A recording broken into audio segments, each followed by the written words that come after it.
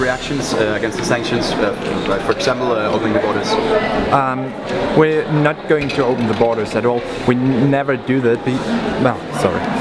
We're not going to open the borders. It would never happen because our country is the best country.